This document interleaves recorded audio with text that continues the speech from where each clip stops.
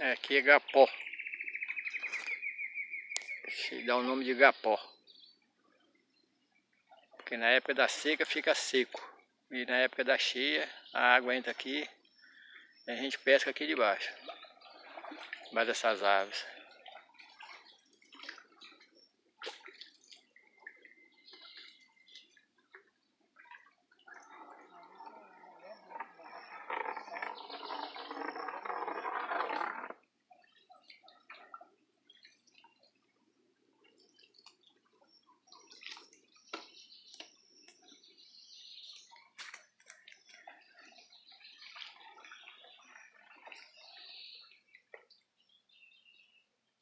Nós estamos procurando um lugar para pescar.